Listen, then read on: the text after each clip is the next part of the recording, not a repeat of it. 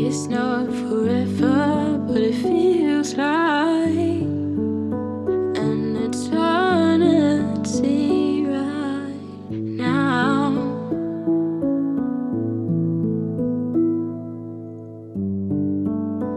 Things will get better, but it feels